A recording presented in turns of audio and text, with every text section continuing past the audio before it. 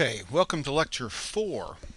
Uh, what we've done so far, let's recap. In the first series of lectures, I'll just call that lecture one, we got intuition about how do we model, how do we explain a dependent variable using lines.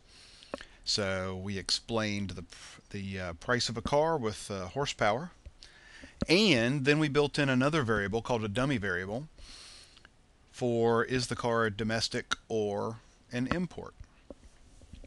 And then in the second lecture, we modeled a relationship using curves, and we used natural logs and we used polynomials to model relationships. And we did that first to make sure you really get a feeling for what we're doing when it comes to modeling relationships and how to interpret these relationships. I think that was the most important thing. And then in lecture three, we went through some calculations about, well, how do we find the best relationship? And what do we mean by best relationship?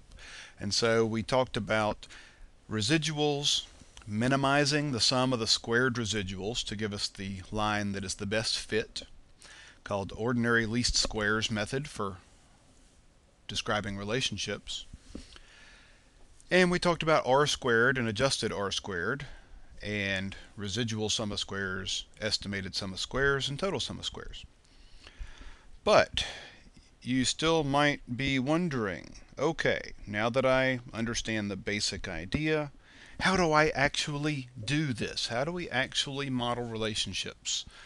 And so that's what we're going to work on today is suppose you wanted to explain something that's the whole point how would I even get started and so that's what we're going to focus on today the basics so I'm going to follow a few other authors today. As I mentioned in the preliminary lecture that I'm going to sort of be following along with Studenmund's textbook called Using Econometrics, and mine is edition uh, 5, the fifth edition.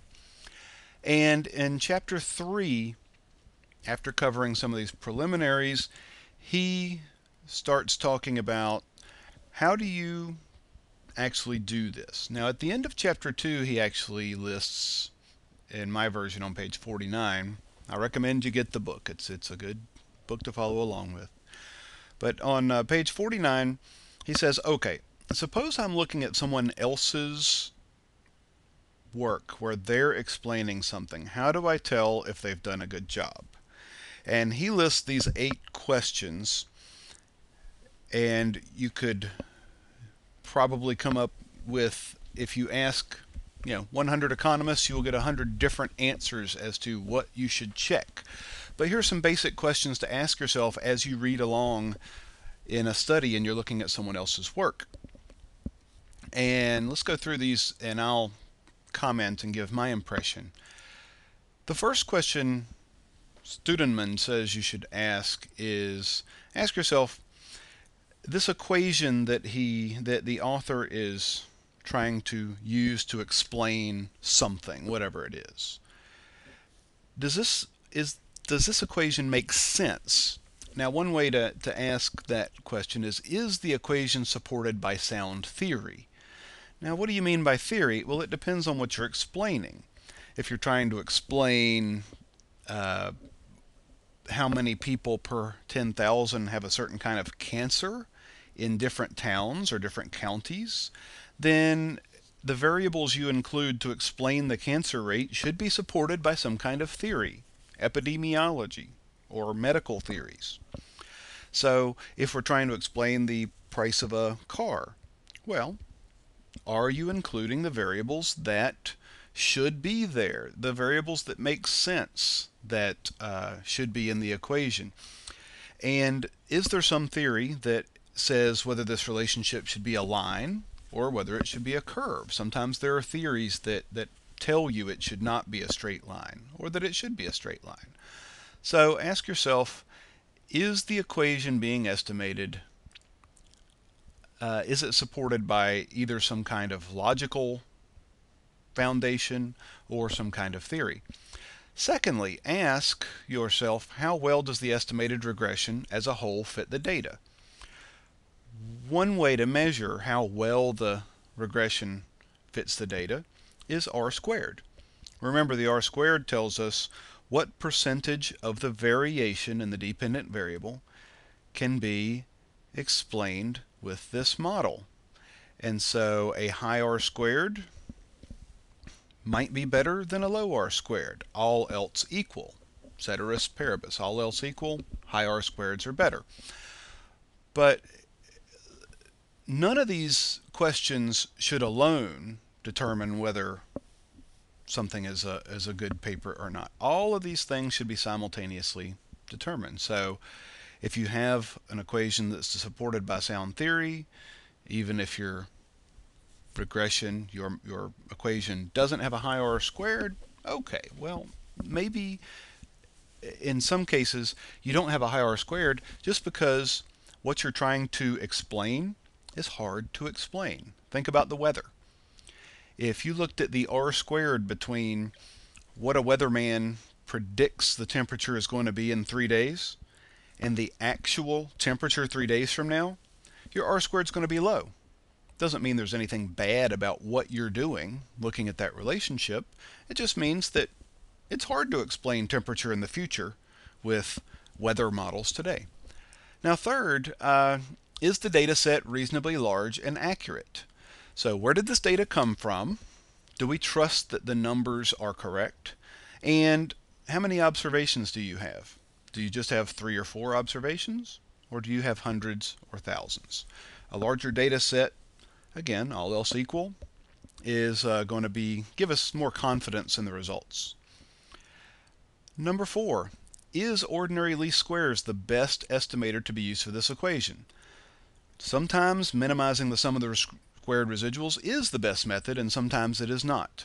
And we're going to look at that in the next series of lectures, uh, which I'll call Lecture 5. Sometimes OLS is good, sometimes you should not use it. There are other methods you can use. So we'll get into those details, but that's a question to ask yourself in the future. Uh, next, how well do the estimated coefficients correspond to the expectations developed by the researcher before the data were collected.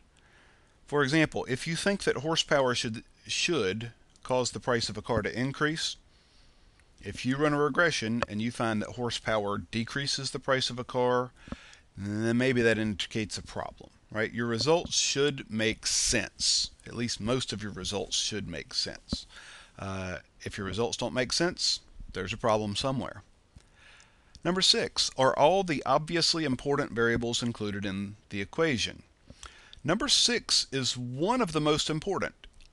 Now, all of these are important considerations, but number six, as we will see later on in the course, is extremely important because what we'll learn later is if you leave out an important variable that should explain what you're trying to explain, if you leave out an explanatory variable that should explain the dependent variable, in many cases, in fact, in most cases, it's going to make uh, all of your results suspect. So you don't want to leave out an important variable. Number seven, has the most theoretically logical functional form been used? Again, this is this is getting back a little bit to this idea number one that I was mentioning before, should it be a straight line? Should it be a curve? Should it be a parabola?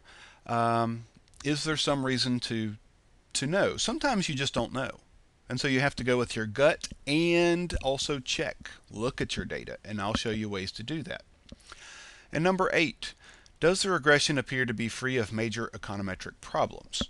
And again, this is a topic that we will look at later in the course a lot of these problems have to do with the residuals. Uh, are the residuals normally distributed or not? And again, we're going to get into those details a little bit more in Lecture 5, where we will look at some problems such as heteroscedasticity, multicollinearity, and some other big, hard to pronounce words that we'll talk about later. Now, my 10 minutes are almost up, but we're going to have a, in this next section of this lecture, We're going to look at the steps that someone should go through in order to carry out a project where they collect data and document their results. And then we're going to look at an example real life research study and comment on what they've done.